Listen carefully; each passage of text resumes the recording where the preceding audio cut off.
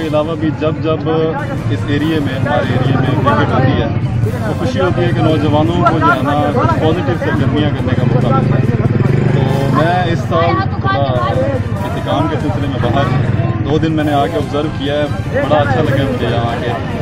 نوجوان لڑکوں کو کافی سپورٹ مل رہی ہے، انعامات یقینی طور پہ انہیں موٹیویٹ کرتے ہیں آگے آنے کے لیے۔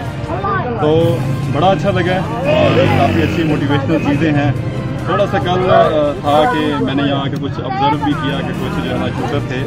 لیکن آج بہت اچھا فیصلہ کیا آپ لوگوں نے ان کو بین کر کے بڑا اچھا ہے۔ اس طرح سے جو فیئر پلے ہے، اس کو سپورٹ ملے گی۔ اور انشاءاللہ جو ہے نا بہت اچھا ٹورنامنٹ ہوگا۔ بڑی خوشی ہے مجھے سب دیکھ کر، سب بڑا اچھا کام کر رہے ہیں۔ اور ویڈیو کے حوالے سے جو چینلز بھی سپورٹ کر رہے ہیں، وہ بھی اچھا لگ رہا ہے کہ جب کوئی اپنی پرفارمنس کہیں اپریز ہوتے ہوئے دیکھتا ہے تو اس کو وہ بھی ایک موٹیویشن ہوتی ہے تو بہت اچھا ہے انشاءاللہ آپ کامیاب ہوں گے اس میں۔ ہماری دعائیں ہیں۔ اس کی کوئی خاص وجہ؟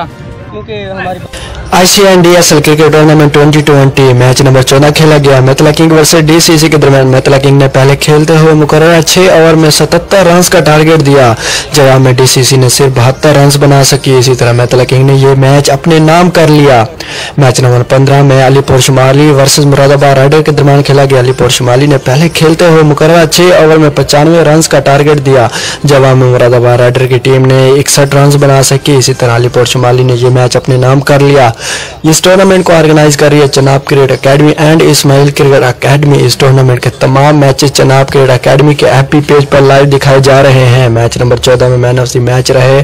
Shaukat and Muhammad Aqeel. Match number پندرہ میں مین آف دی میچ رہے۔ Muzammil and best performer Muhammad Intisar Sheikh. کیرمین team کے ساتھ Muhammad Ijaz Hanjra, Chenab H D news Muzaffar